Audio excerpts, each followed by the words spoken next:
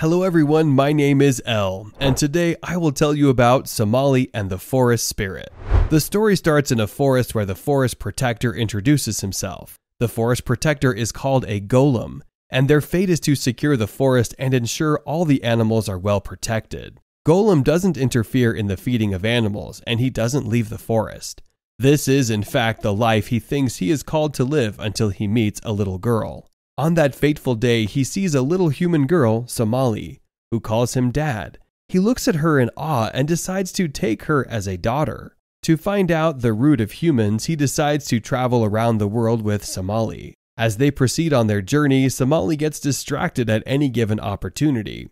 And she also gets lost, but he always finds her and warns her. Eventually, they reach a huge city of monsters. As they arrive in the town, Somali insists she is hungry, so they stop by a restaurant to eat. Conversation starts at the restaurant, and he informs the monsters that he is looking for humans. They tell him the weird history of humans and how humans and monsters engage in a huge war. In ancient times, humans and monsters lived separately, and both weren't aware of the existence of each other until a human visited the city of monsters. Gradually, humans and monsters mix, but humans are degrading. Despite their weakness, humans do not lose any opportunity to insult the monsters, and a fight occurs between them. Monsters defeat humans, and the surviving humans flee to find a safer home. Golem knows of the hatred between humans and monsters, so he puts a horn on Somali's head. As they attempt to leave, the monsters advise them to spend the night in an inn, and they succumb. The next day, Golem goes to a gold store to negotiate the sale of some of his stones.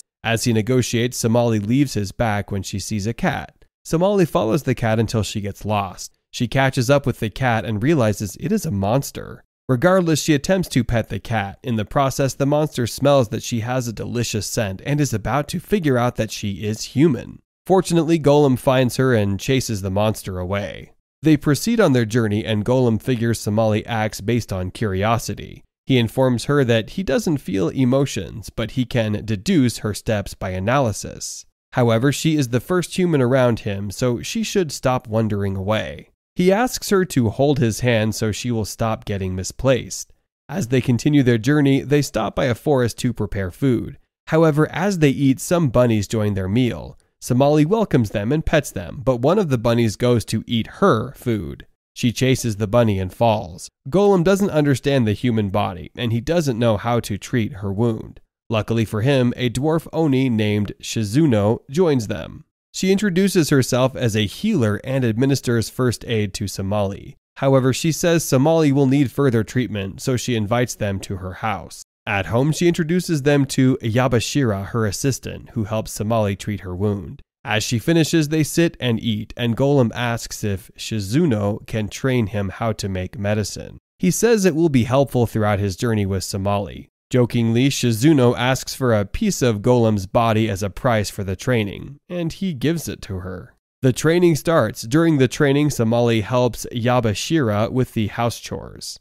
As the training proceeds, Shizuno feels terrible for asking for a piece of his body. She asks him why he wants to train, and he says he doesn't want Somali to feel any pain. That night, as Somali sleeps, the adults talk and they wonder why Golem is traveling. He informs them he is traveling to find Somali's parents. He removes his clothes and shows them his cracking body. He tells them his lifespan remains a year, and he will shut down after a year, so she wants to find Somali's parents before then. The following day, Golem and Somali continue their journey while Shizuno and Yabashira bid them goodbye. They continue their journey toward the desert. They are financially stranded, so they can't take a ride. They walk to a neighboring city called Ant Hole City. Somali wonders why it is called Ant Hole City, and the golem tells her it's because the city looks like an ant hole, and if anyone loses their way in that city, they can never be found. Golem attempts to sell some of his stones, but his stones are not very valuable. Somali is hungry, so he takes her to a restaurant. Upon entering, they find a box moving and trust the inquisitive Somali to open it.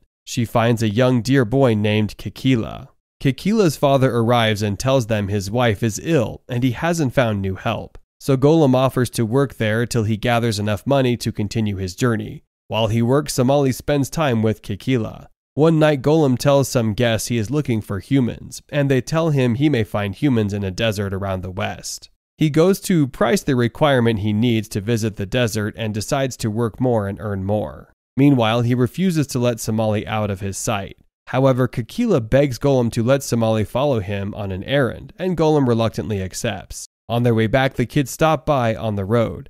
Somali starts crying and she tells Kikila that Golem is thinking of leaving her. To make her feel better, Kikila offers to take her to a forbidden underground cave where people's wishes come true.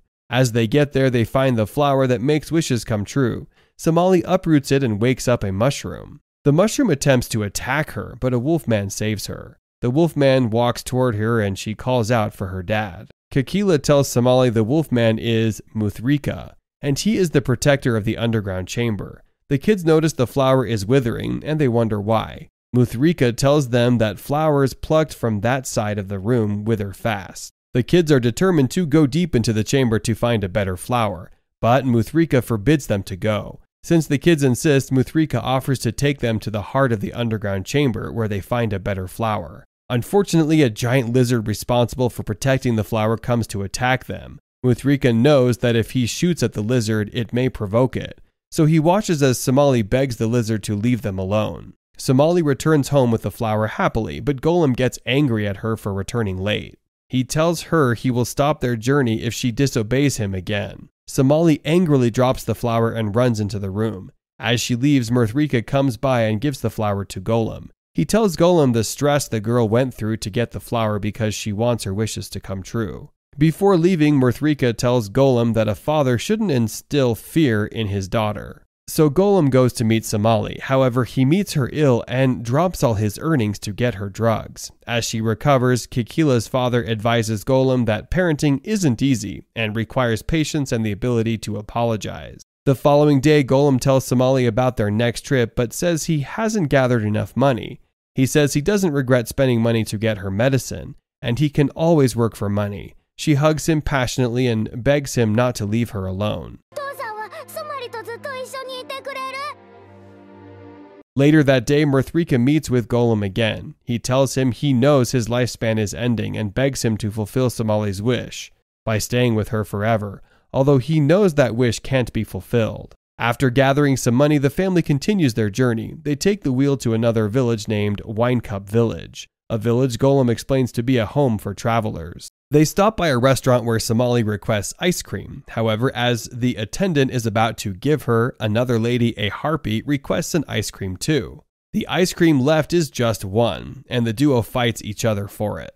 The harpy, Uzoi, goes nearer to Somali and drags her cheek before her companion. A falcohol named Hayatora stops her. They sit together and share their journey. Uzoi offers Golem to follow them on their wheel. They accept this offer, but in private. Hayatora wonders why Uzoi will make such an offer. Uzoi explains that Somali is human, just like Hayatora. They confess that they are traveling to find a cure for Hayatora, and Uzoi whispers to Hayatora's ears that Somali may be a cure. They continue their journey. Somebody.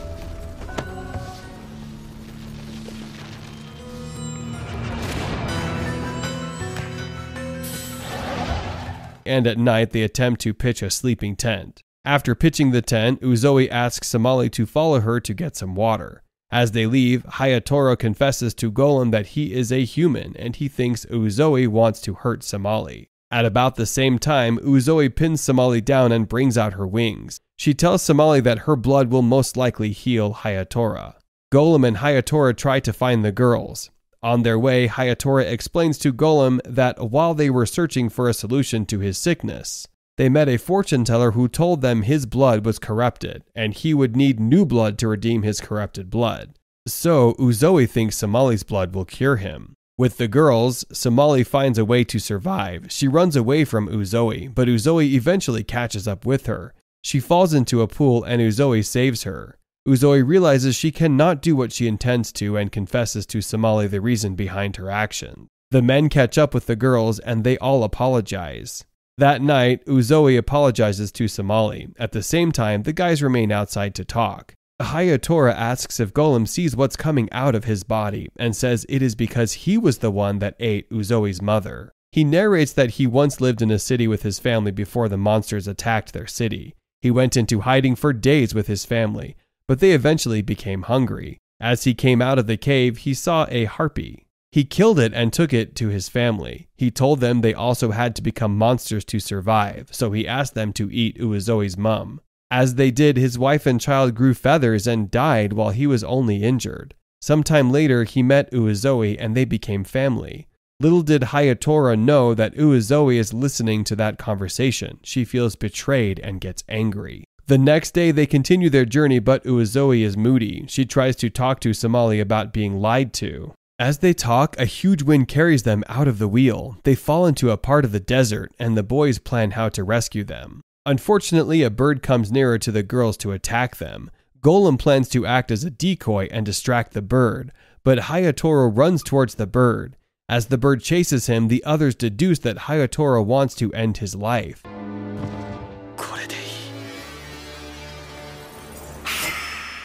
They follow the bird and Uzoi kills it. She hugs Hayatora and tells him that if he wants a punishment, his sentence will be to stay with her forever. They proceed on their journey, but Golem's years on Earth reduce daily.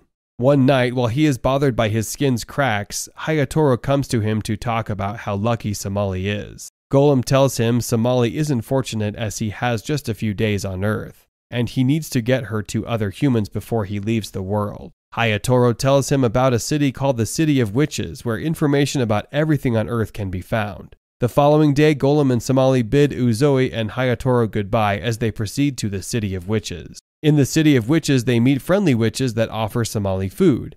She drinks and eats to her satisfaction before Golem reminds her of their mission. They visit the library where Hazel helps them find a book on humans. While searching, they meet Hazel's sister, Praline who tells them there is a book on humans titled The Chronicles of Hereso. Following Praline's description, Somali finds the book, but as she removes it from the shelf, she is attacked by some book eating fishes called pescafish. While Hazel destroys most of the tiny fish, a big one goes for all the books in the room.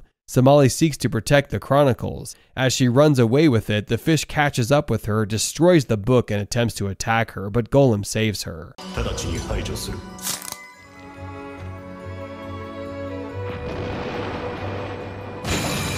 Somali tearfully apologizes for getting Golem injured and for not keeping the book safe. Since the book is destroyed, the witches check if there is a previous reader who can tell them the story and figure out the only reader is Isolde Nebsolv, a former librarian who wrote it about 300 years ago. Unfortunately for them, Hazel tells them Isolde is ill and they won't be able to meet her. Somali cries to Praline, who reluctantly gives them a map to the library and tells them where to find the senior librarian. They continue their journey to the inner part of the library where they meet some security. They escape from the first set and get to the heart of the library. They meet another group of security who attempt to punish them, but Isolde saves them. She calls out for them and they ask her about the chronicles of Hereso. She tells them that she was the one who wrote the book, and she narrates one of her ancestors' experiences with humans. A young witch, Theodora Nebsolv, flies with her magic broom, and she falls into a village. As she wakes, she wakes among humans who welcome her peacefully. The head of the humans is a golem named Hereso. While they talk, Theodora asks humans which species they are of, and humans figure she isn't one of them. Hereso comes to her rescue and tells them she is human. As the villagers leave, Hereso warns her that humans are a very cowardly species, and she needs to hide her identity. She relates with humans and gets closer to a young girl named Mia, who calls her a big sis. One day she watches as humans attack and kill a harmless monster, and she hides cowardly. That night, the villagers search for her, but Mia finds her first. Unfortunately, the wind blows Mia into a deep part of the forest, and Theodora shows her witch skills by flying to save Mia. However, as she reveals her identity, humans turn against her and send her away.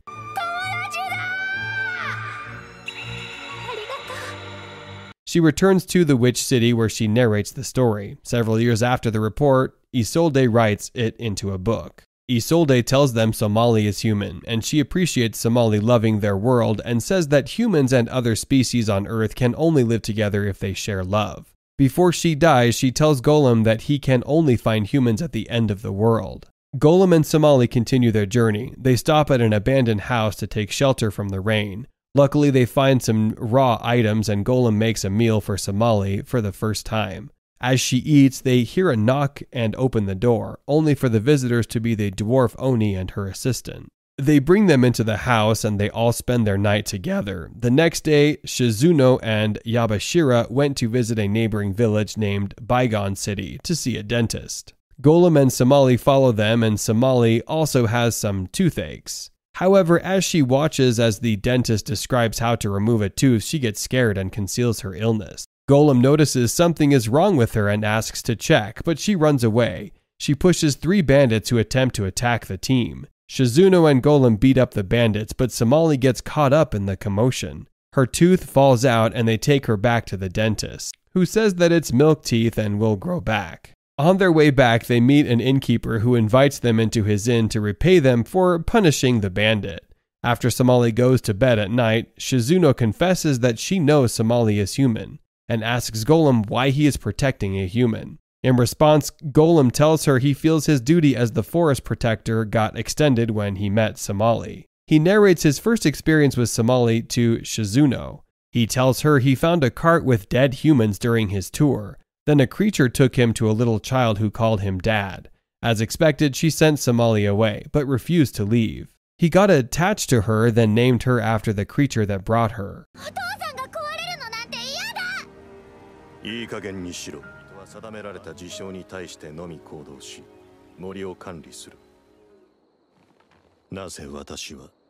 He tells Shizuno that if he eventually shuts down, she should please take care of Somali. The following day, the men go for the bodyguard job they took the day before leaving Somali and Shizuno. At home, Somali tells Shizuno she would like to get her father a gift. She thinks of knitting, but she doesn't know how to knit.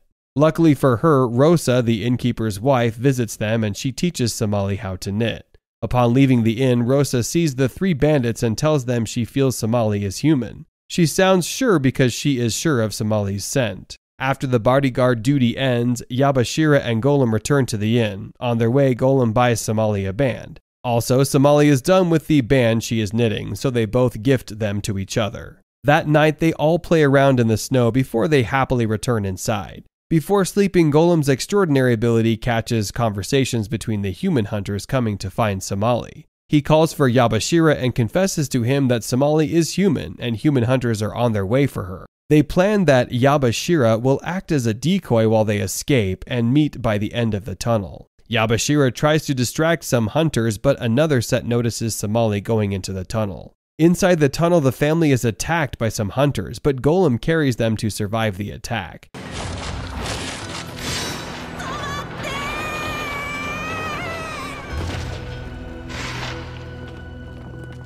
As they continue their journey, they meet Rosa, and they assume she is their friend, but she arrests them. She tells them she has a hatred for humans and narrates how humans attacked her village when she was a kid. She insists they will take Somali. The hunters arrive to take Somali, but Shizuno steps in for her. They slap Shizuno off and try kidnapping Somali. To protect the young girl, Golem changes into a huge beast that terrifies everyone there. Upon changing into a beast, Golem goes after the hunters, defeats all of them, and it remains Rosa. Yabashira tries to protect Rosa, but Golem throws him away. As Golem is about to kill Rosa, Somali stands in front of him and stops him.